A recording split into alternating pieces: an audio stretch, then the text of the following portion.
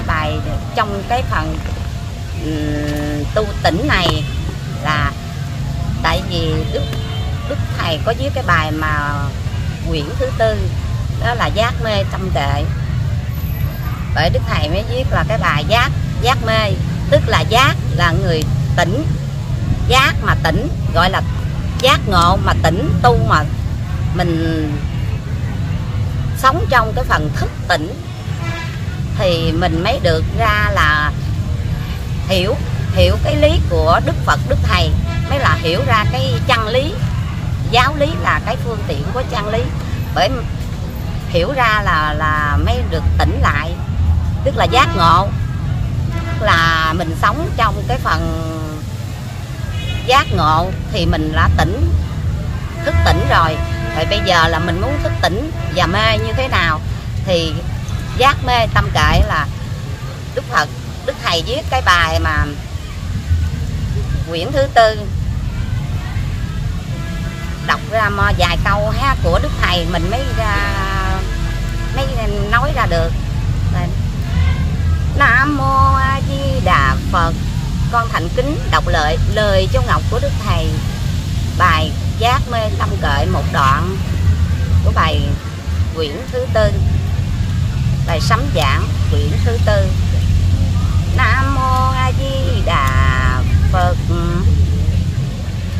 Khai ngọn đuốc từ bi chỉ thiên, tìm con lành dắt lại phật đường.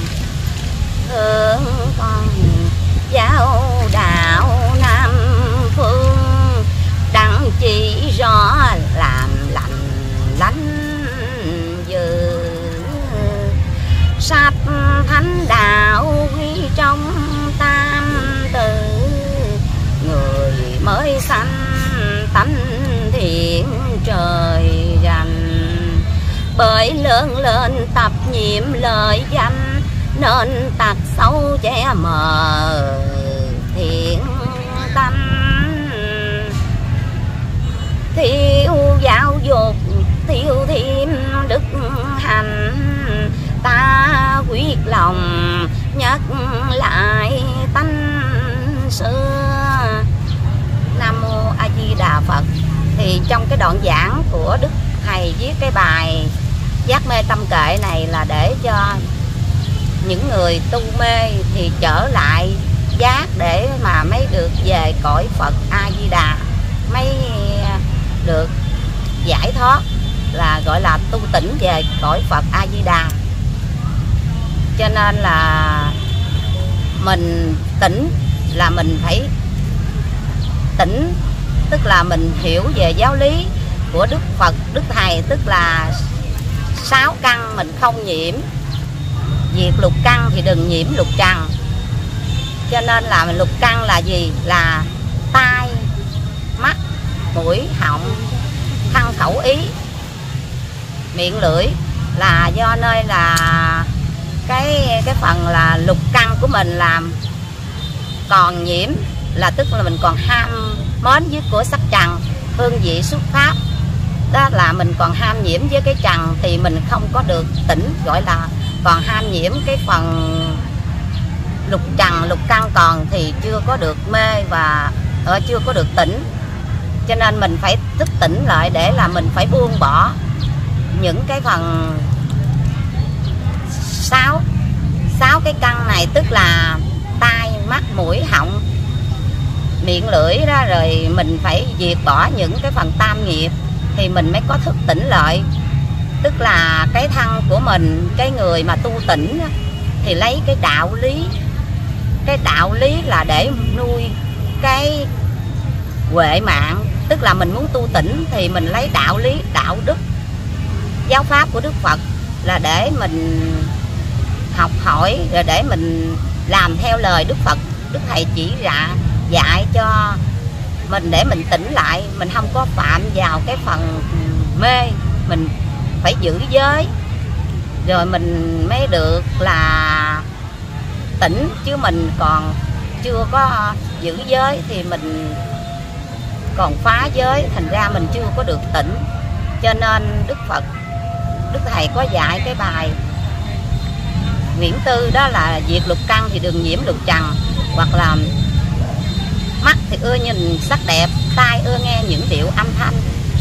Mắt với tai đều chọn đẹp xinh, còn lỗ mũi ưa mùi im dịu, đồ ngọt béo nó ưa nó chịu, chốn xạ hương hay lết lại gần lưỡi ưa ngon là chuyện ăn cần, hăng tham sướng muốn tiền của đến ăn xài cho phỉ tấm tình. Ý thì ưa sửa sắc soi hình giới chức phận cho cao, cho quý. Sáu đường ấy ở trong tâm ý, ta mau mau dứt nó ra ngoài. Nếu tĩnh tâm thì có mấy hồi mượn trí đạo đuổi ra khỏi xác. Dứt được nó ấy là giải thoát. Thì xác trần khỏi bị đỏ đài. Cho nên mà cái người mà tu tỉnh thì phải là dứt cái sáu căn và sáu trần này. Sáu căn là nói về sáu căn nhưng mà nó có năm năm quẩn. Tức là sắc thọ tưởng hành thức là năm quẩn. Về uh, sắc là sắc thăng. Thọ là cái sắc thăng của mình nó có ra lục căn rồi bắt đầu nó thọ hưởng. Những cái sự ham muốn ở trong bản thân mình thì sắc thọ tưởng tưởng là cái cái cái cái, cái tưởng nhớ trí tưởng nhớ đó nhớ đây. Cho nên là mình cái suy nghĩ nó không tốt thì mình đừng có tưởng. Tại đức đức thầy có nói là hãy tưởng nhớ những điều đáng nhớ. Cho nên mình nhớ cái à, tưởng nhớ những cái phần chánh pháp hoặc là cái chuyện làm từ thiện bố thí giúp đời. Mình nói về cái chánh pháp chứ cái phi pháp thì mình đừng có tưởng nhớ mình phải giảm bớt lại những cái phần cái phần là phi pháp hay là cái phần suy nghĩ không tốt. Thì mình đừng có nghĩ đến mình hãy nhớ niệm phật. Và ăn chay niệm phật cúng lại hàng ngày bố thí làm các việc từ thiện thì cái đó là về bên là cái cái uh, hành đăng đăng về hiểu về là cái uh, cái cái thức tỉnh tức là mình nói về cái ừ, chánh còn mà cho nên mình phải hiểu về bên cái chân lý, giáo lý là của đức phật, đức thầy để lại cho mình coi, để mình xem. Rồi mình thấy, rồi bắt đầu mình mới là tưởng nhớ những lời đức phật dạy thì là gọi là đạo lý để nuôi cái huệ mạng của mình. Tức là mình hiểu về cái cái e, trí huệ của mình nó thông suốt lên thì sẽ là là huệ mạng. Còn mà mình sắc thân của mình mà cứ à, biết rằng là người ai sống ở trên đời này ai cũng phải sống để có cái thực vật, thực phẩm đồ để dùng, thì cái đó là cái phần là nuôi để thăng mạng thôi. Còn mà mình đọc giảng kinh, mình làm phước thiện, làm chuyện phước thiện tu hiền, phước huệ song tu thì đó là cái đạo lý của đức phật đức thầy dạy.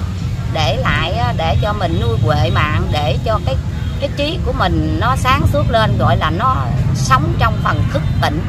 Còn nếu mà mình còn phạm thì từ từ mình thay đổi. Từ tối ra sáng mà từ thấp lên cao, như là mình chưa có được buông bỏ những cái phần tam nghiệp, tức là tam nghiệp thì thăng khẩu ý. Nó là 10 điều ác trong bài quyển năm. Cho nên là từ ác thứ nhất cho ác thứ 10 nếu mà mình còn phạm giới thì mình buông bỏ từ từ. Còn nếu mình có dứt được thì mình mới là, gọi là, nhất kiếp. Tại vì đức phật có, đức thầy có nói là tu thì phải cứ nhất tâm tính nguyện phụng hành mới được cứu cánh về nơi an dưỡng. Còn nếu mà không có không có ờ, theo lời của đức phật, đức thầy, thì nó sẽ rơi vào cái phần còn mê, chưa có được tỉnh. Cho nên tự lực mình không được thì mình nhờ tha lực. Tức là mình cúng lại hàng ngày, rồi mình nguyện giái cụ quyền thách tổ ông bà. Và ngôi tâm bảo, đức phật, đức thầy cho hộ độ cho con tu tỉnh. Tức là mình buông bỏ cái phần mê để mình có một cái tánh giác và tánh tỉnh để mình sống hàng ngày, mình nó nhẹ lòng lắm. Tức là mình có cái huệ mạng, cái cái mình hiểu về cái pháp.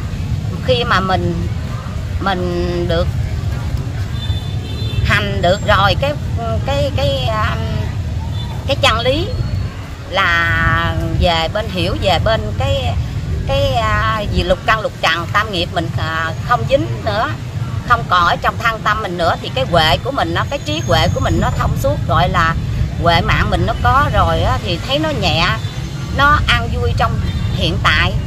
Tức là cái đó là gọi là mình giống như là tự tại tức là mình không có còn buồn phiền não với cái cái vật chất hay là cái tình yêu thương hay là cái chuyện gì nó xảy đến với mình. Cũng vẫn là mình biết cái chuyện này cũng như là một vừa thử thách mà được vừa cái cái trả nghiệp. Vì cái phần làm Đức Phật có nói là cái người tu mà về về mà tu Phật á, về cõi Phật thì phải là trải qua cái sự cái sự là trải qua là khổ gọi là tứ diệu đời. Cái người tu là phải khổ tứ diệu đề, tức là bốn cái đề này đều khổ, đem vào cái khuôn khổ người hiền, người tu tỉnh là khổ dữ lắm. Vì đang khổ, đang trả nghiệp và đang thử thách, như cái bài 10 điều kiến tu đức phật, thầy tây an có nói là nhiều thử thách đang dây con đó, mà nếu ngã lòng công khó tiêu tan, việc chi còn ở trần gian điều hòa là quyển vật chớ mang trong lòng. Cho nên mình phải tu tỉnh thì mình nghe lời giáo lý của đức phật, đức thầy. Nghe nhiều thì cái cái trí huệ của mình nó càng nhiều tức là mình được sáng lên thì mình sẽ thấy an nhàn an vui trong hiện tại. Nó không có buồn phiền về với cái, cái sự đối cảnh với nhau. Nhiều khi mình có lỡ dấp gì thì mình cũng phải cố gắng vượt qua cái suy nghĩ. Cái suy nghĩ của mình cái đó là một cái việc đang thử thách hay là đang đang trả nghiệp. Tại vì cái người tu thì phải đang khổ về hai cái phương hai cái cái phương tiện là một là đang trả mà một hai nữa là đang đang thử. Khảo con người tu hiền dữ lắm cho nên phải ráng vượt qua cái cái bể khổ. Thành ra đức phật đức thầy có nói là qua bờ giác ngạn mà sớm treo gương màu. Hồi nãy có nói về cái ngũ quẩn đó là tức là sắc thọ tưởng hành thức đó tức là cái thức của mình là cái ý tức là cái ý của mình đó, nó làm việc cho những cái chuyện mắt, tai, mũi. Và tai thì mình nghe hay là mắt thấy, tai nghe đều nó sẽ cái về bên cái cái phần thức cái ý thức này nè. Nó là giống như là một cái ông vua mà để ở trong thân tâm của mình. Nó xui khiến giữa cái thân của mình là sắc thân rồi cái thọ là được hưởng chuyện vui buồn đồ này kia cái mình hay buồn phiền. Miễn vui thì mình mừng còn không mình không được thì mình buồn. Đó đó là một cái phần là ngũ quẩn. Cho nên ờ, thọ tưởng hành là cái chuyện của mình đang hành là đang khổ đó. Khổ hay là không khổ thì mình cũng phải ráng là bình thường lại. Tức là cái tâm mình không có suy nghĩ về buồn phiền não. Rồi cái ý của mình á, thì thấy là tâm, là cái ý là cái tâm, gọi là tu là tu tại tâm, tức là tâm nó bằng với cái cảnh vật. Cảnh vật thì nó mới là được có cái phước huệ. Tức là bây giờ nếu mình mà tu tỉnh thì mình gặp cảnh, cái tâm mà mình đối diện với cái cảnh mà nó không có sanh khởi, không có à, chấp ngã bảo thủ thì nó mới bằng được, gọi là mình mới được tỉnh. Chứ còn nếu mà mình còn buồn phiền não với cái cái cảnh duyên trần này, thì nó sẽ là chìm trong cái bể khổ, cái buồn phiền não. Tại vì trong cái cuộc sống bây giờ hoàn cảnh ai cũng khó khăn. Rồi lớp tiền thì nga à, là khổ tình, khổ tiền, rồi lớp là bệnh hoạn, rồi lớp là chuyện khổ về là chuyện khổ thì thời tiết. Nói chung là cái cõi ta bà này thì đức phật, đức thầy có nói là ta bà khổ, ta bà lắm khổ. Cho nên mình phải, đức thầy nói là phải xét lại cho tột chỗ tịnh độ vui và tịnh độ ngàn vui. Cho nên mình phải ráng lo niệm phật và làm các việc từ thiện để mình gieo cái duyên lành. Mình không có cái phước duyên thì mình phải, cái người mà không có phước duyên thì mình phải ráng nghe lời Phật để gieo cái phước duyên lành để mà tạo ra cái cái thiện duyên để hưởng về thì hưởng trong hiện tại và vị lai về sau. Còn mà nếu mà mình không gieo duyên lành thì nó sẽ mất đi một kiếp nó rất là là uổng lắm. Tại vì khi mà cái người không tu rồi á là nó sẽ rơi vào cái phần tam đồ tức là cái người không tu ờ, sau khi mà chết á, thì phải bỏ cái xác thân này rồi rơi xuống cái phần tam đồ tức là ngạ quỷ súc sanh và địa ngục. Còn cái người mà có tu mà biết cúng lại nhưng mà làm phước thì là cũng là cũng được về cõi người. Thí dụ mà cũng là có tu nửa đời nửa đạo á, thì cũng có tu rồi á, thì cũng được phước là về cõi người. Còn nếu mà phước nhiều nữa thì được về cõi trời. Còn người nào mà tu tỉnh mà được về cõi Phật A Di Đà luôn. Tại vì Đức Phật nói là mình mà tu được á, thì phải là được về chỉ một kiếp Tây phương hồi hướng thoát mê đồ dứt cuộc luân hồi. Cho nên cái mê đồ là còn ở dưới cái cái chuyện ở cõi trần cõi thế gian này. Cho nên mà người nào muốn về cõi Phật an vui thì phải thức tỉnh sống trong thức tỉnh tức là phải dẹp lục căn lục trần không nhiễm, tam nghiệp không nhiễm là tinh tấn tu hành, mình không có làm cái nghiệp. Tam nghiệp thì 10 điều ác mình không có nhiễm vô. Thì mình, cái phước huệ của mình cái phước và cái huệ gọi là phước huệ song tu, thì được cái trí huệ của mình nó sáng lên, gọi là vui trong hiện tại rồi, thì mình sẽ, tương lai là mình sẽ về cõi Phật A Di Đà còn mà mình mà còn ham cái phần còn cõi hồng trần này nữa thì mình còn mê. Tức là chưa có được về cõi Phật. Cho nên đây là tự tự mình phải là ngộ ra, đạo là tự ngộ ra được cái trong thân tâm mình. Mình mới được là tu với tỉnh. Thầy, đức thầy có nói là tu với tỉnh biết làm chẳng khó. Thì đức thầy có nói là những cái câu giáo pháp của đức phật, đức thầy nhiều lắm 84 ngàn pháp, tức là 84 ngàn cái đau khổ ở thế gian. Cho nên mình phải tự giác không được, thì mình tự giác là mình phải sống trong cái phần lời của Đức Phật dạy, tức là sống trong thức tỉnh, tức là mình không có còn mê cõi trần thân ti còn tục mà tâm lìa cõi mê, bài ngữ năm trí toan gieo giống bồ đề kiếm người lương thiện dắt về tây pha cho nên mình mà có tu tỉnh rồi thì mình phải được về đức phật, về cõi phật a di đà đức thầy có nói cái bài bóng hồng mong người tu tỉnh ít nhiều cũng hay. Hoặc là người nào mà chưa có tu thì thầy thầy có với cái bài mặt tình ai. Bá gia mặn lạc mặt tình ai đạo lý xem đâu thấy chẳng rầy chỉ thấy hình sơ thân xác trội ai người tâm đạo thấy càng hay, mà ai người thích đạo thấy chẳng rây. Thầm thầm tối tối gẫm ai hay, có một hội này ráng lập thân chớ để trễ chày rèn chẳng kịp khuyên ai, khuya sớm ráng chuyên cần cho nên mình thức tỉnh giờ nào thì cái cái phước huệ của mình nó càng sáng chừng nấy nó giống như viên ngọc. Đức thầy có nói với cái bài dặn dò bổn đạo. Ngọc nhờ lao ngọc mới rạng ngời. Kim mài giữa kim kia mới bén. Người làm phải như tầm trong kén. Có bao tơ buông bọc tấm thân tức bao bọc tấm thân tức là cái người làm phải thì có Phật có chư thần gia hộ độ. Tại vì Đức Thầy có nói là cái, cái người mà làm đường ngay thẳng thì có thần độ cho cho nên mình nghèo khổ hay là mình hoàn cảnh khó khăn nào mình cũng phải theo lời của Đức Phật Đức Thầy để làm các việc từ thiện xã hội giúp đời. Về bố thí giữ giới trì trai để mình phải tiến lên.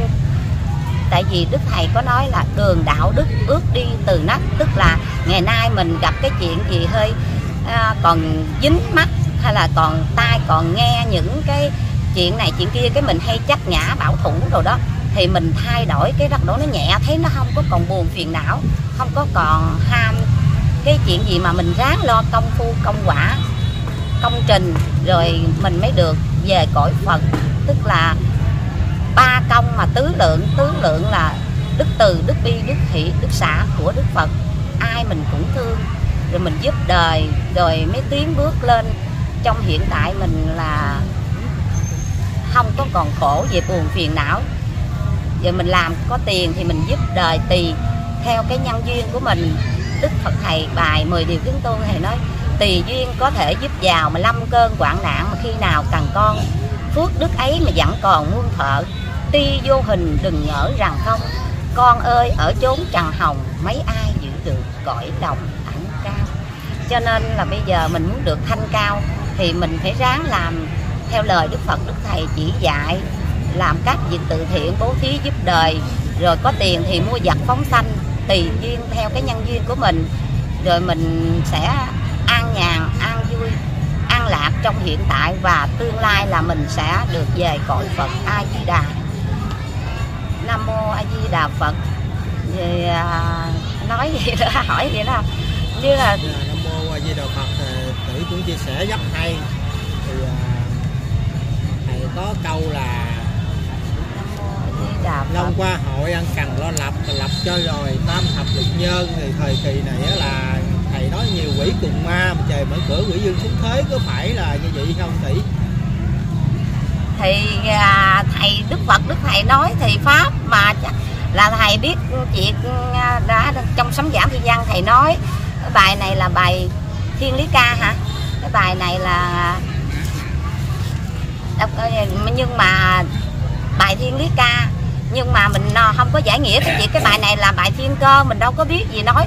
Thì bây giờ là còn ham danh lợi tình, cái đó là cũng phải giữa giáo pháp của đức phật á, là tà với chánh.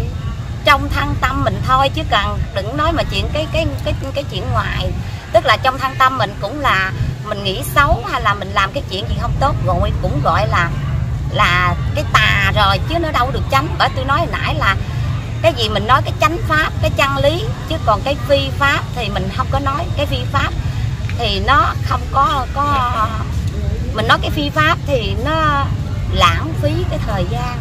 Thì trong cái câu này nó cũng ý nghĩa nhưng mà nói về thiên cơ mình không có dám bàn mình không có biết đâu mà bàn. Nhưng mà nói về nội trong cái phần nãy giờ tôi nói đó, giữa lục căn và lục trần. Nếu mà lục căn lục trần mình chưa chưa diệt thì vẫn, vẫn còn là phần tà. Tại vì cái câu đối của ông lục tổ huệ năng á là 36 câu pháp đối đó. Giữa là chánh và tà tốt và xấu thanh và trượt. Nếu ai mà làm được cái chuyện à, mà trơn chánh gọi là thanh thanh thanh cao tức là tâm sáng suốt mà như đài nguyệt kiến cho nên là tánh trong như nước bích mùa xuân. Cho nên là cái người mà được nói về tu mà chân chánh gọi là cái đó là phần chánh gọi là nói là được là thanh. Còn mà cái về bên cái phần tà thì nó còn nhiễm vô trong à, cái phần tam nghiệp cũng là tà nữa chứ không phải là chánh đâu. Tại vì cái phần này là còn là phần ác ác gọi là tà chứ đâu phải ác là chánh cho nên cái người mà đi tìm cái chân lý là phải hiểu rõ, rõ về bên cái cái cái phần này. Còn cái chia cái kia chú hỏi là bên bài thiên lý ca đó là thiên là trời tức là ý trời đã định này cái chuyện giờ nó, mình thấy là chuyện thời tiết nó không có được ờ, như, như ngày xưa tức là nắng cùng mưa đã khác xưa rồi thì nó là gọi là nó thay đổi cái thời tiết thành ra mình phải ráng lo thay đổi trong thân tâm mình thì ra là mình thấy là mình không có khổ. Nếu mà mình không thay đổi trong thân tâm mình lục căn lục trần của mình tam nghiệp mình còn tức là mình thay đổi trong thân tâm mình không được thì ở ngoài thì mình thấy nó khổ. Tại vì mình thấy cái tâm của mình nó chưa thay đổi thì ở cái cái việc của à, như là thời tiết nè nó không thay đổi cấp đầu mình buồn phiền não khi mà mình được trong cái thân tâm của mình được ừ, sáng lên rồi thì nó sẽ là, gọi là không có còn buồn phiền não. Tức là không có còn buồn về cái cái cảnh này nữa. Thì mình mới là ráng lo tu tỉnh cái người tu tỉnh thì không có còn thấy buồn, không có còn buồn phiền, mà lại thanh cao. Bởi vì là cái phần tu tỉnh thì thấy khổ nhưng mà mình ráng lo tu để mà mình vượt vượt qua bờ giác ngạn. Tức là qua bờ sông đau khổ qua bờ bờ, bờ bên sông bên kia là bờ cõi cực lạc là cõi cõi ăn vui là cõi đức phật đó là gọi là cõi phật a di đà là khi nào mà mình được về cõi phật a di đà thì là đó là cõi cực lạc rồi là qua bờ giác ngạn mà sớm treo gương màu tức là mình sống hiện tại mình phải treo cái gương màu của mình. Tức là muốn gương màu là sao? Thì tức là lục căn lục trần. Mình không nhiễm vô cái phần đó thì mình sẽ được thanh nhàn trong hiện tại. Gọi là trí trí của mình nó là sáng suốt lên rồi nó không có còn buồn phiền gì nữa còn cái phần nãy chú hỏi cái câu đó là à, tam thập lục nhân là là nói về cái phần thiên cơ mình đâu có biết mà bàn cho nên là mình nói À. đợi hỏi à, tỷ một câu nữa mình kết thúc video luôn À. nói là mau thức tỉnh tu thăng kẻo trễ rồi đến tội rồi mới hối muộn màng là như thế nào để mà mình tu cho nó ờ, khỏi cái ờ, cái này để mà mình không còn khói muộn màng nữa tỷ? Đó, thì nãy giờ tôi nói là cái phần này là tu tu tỉnh không đó. Giữa tu mệt, tỉnh và tu mê, tức là cái người tu tỉnh thì mới được về cõi phật a di đà tức là phải là buông bỏ là lục căn, lục trần và tam nghiệp. Đó, gọi là mình buông bỏ cái phần ờ, tam nghiệp thì thân à, mà thân khẩu ý nó sanh ra 10 điều ác là lưỡng thiệt, ỷ ngôn, ác khẩu, giọng ngữ, tham lam và săn nộ mê si đó, tham lam đó, săn nộ mê si. Tức là trong 10 nghiệp ác này mình mình còn thì mình là còn mê, còn mà mình tỉnh thì mình làm cái chuyện ăn chay niệm phật, cúng lại, tu hiền, làm phước từ thiện.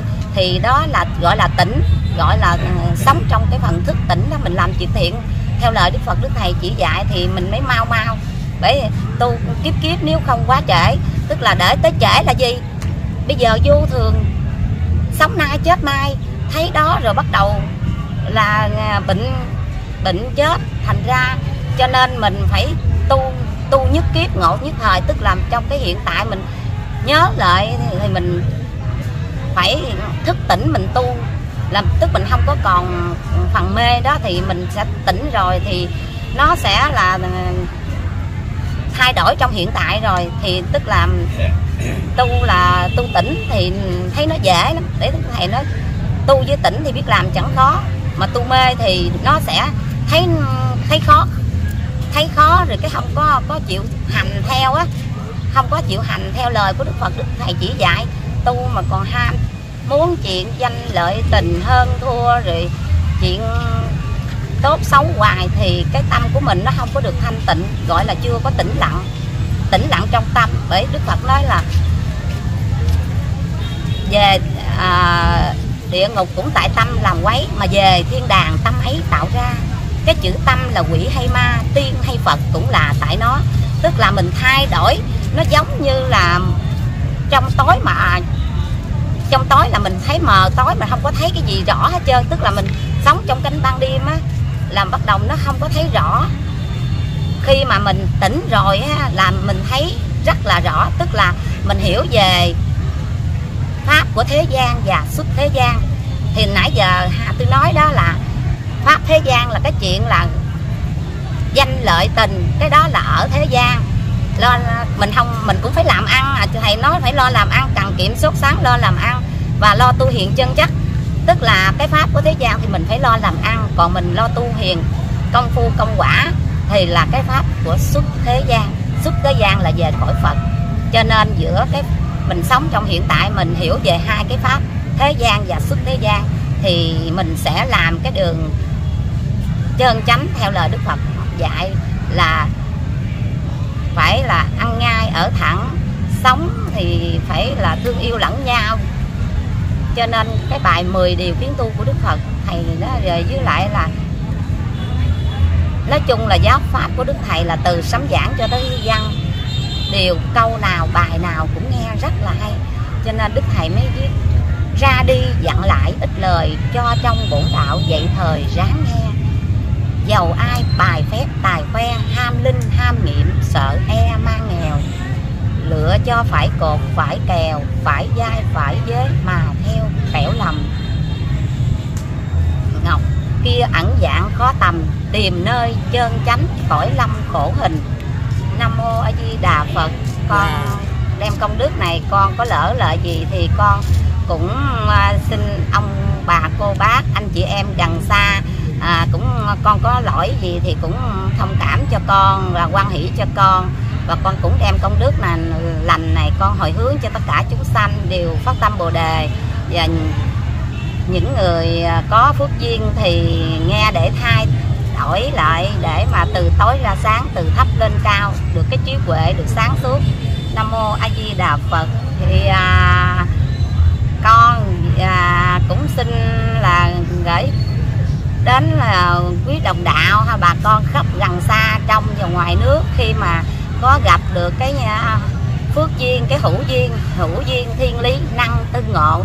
Cho nên mình nhục ở xa xôi nhưng mà mình nghe thì thay đổi là cũng như nãy con nói á, là khi mà mình tự lực mình không có bỏ được những cái phần là tam nghiệp thì mình phải là nhờ củ quyền gian giái của quyền thất tổ bà độ cho con được bỏ những cái điều à, tam nghiệp tức là điều ác cho con được cái à, phước duyên để con tu hành để cho con hết khổ để giải cái khổ ra thành hết khổ.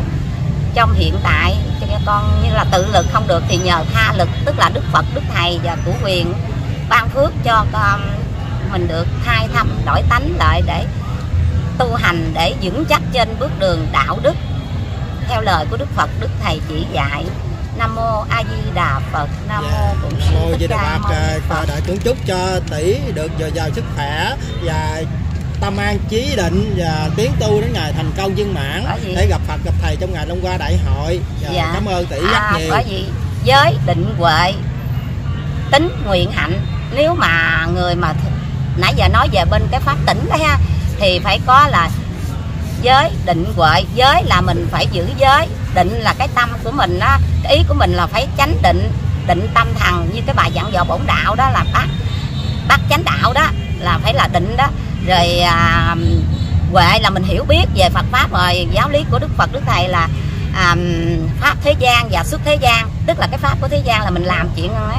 bởi Đức Thầy có nói cái bài mà trong Phan Tá Ngà đó là um, cái cái câu uh, hiệp cùng nhau chờ đợi năm non á.